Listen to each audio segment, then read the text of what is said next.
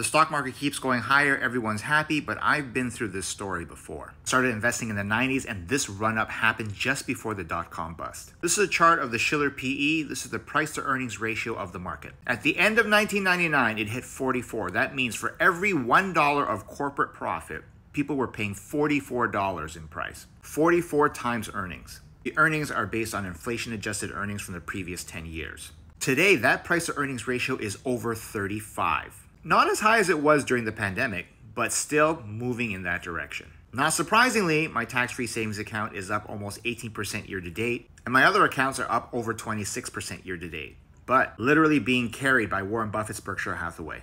Will this continue? Past performance is no guarantee of future results. And having gone through two huge stock market crashes since I started investing, I would completely not be surprised in going through a third. So what would you do here? You have a lot invested, stock market keeps ratcheting higher, getting more and more expensive. Let me know.